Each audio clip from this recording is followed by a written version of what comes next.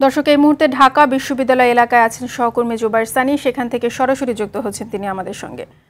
সানি, ঢাকা বিশ্ববিদ্যালয়ের শিক্ষার্থীরা কি বলছেন? বিস্তারিত কি তথ্য রয়েছে জানাবেন আমাদেরকে।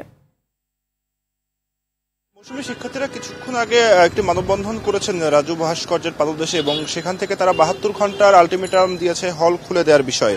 এবং আপনি জানেন যে শিক্ষামন্ত্রী ডক্টর দীপুমণি তিনি বিকেলে একটি সংবাদ সম্মেলনে তিনি জানিয়েছেন যে সতেরোই মে হল খুলে দেওয়া হবে এবং সেই সঙ্গে চব্বিশে মে বিশ্ববিদ্যালয়ের ক্লাস শুরু হবে। কিন্তু শিক্ষার্থীরা যেটি দাবি জানিয়েছেন যে এই ফেব্রুয়ারি মাসের মধ্যে তাদেরকে হল খুলে দিতে হবে। এর কারণ হিসেবে তারা যেটি বলছেন যে তারা বিভিন্ন বিসিএস থেকে শুরু করে বিভিন্ন চাকরি পরীক্ষার এবং সেই সঙ্গে যে শিক্ষার্থীরা রয়েছেন তারা বিভিন্ন ম্যাচে এখন থাকছেন।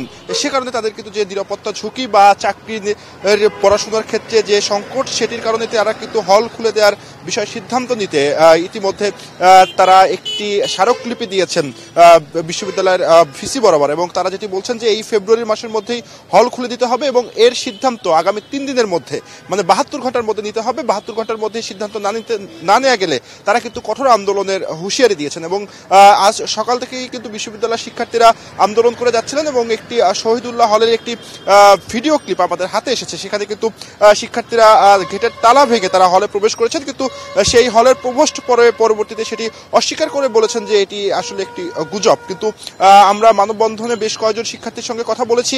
তারা যেটি বলছেন যে খুব দ্রুত হল খুলে না দিলে কিন্তু শিক্ষার্থীদের আগামীর ভবিষ্যৎ সংকটে পড়বে এবং সেই সঙ্গে তারা অনেকটাই নিরাপত্তাহীনতায় ভুগছে।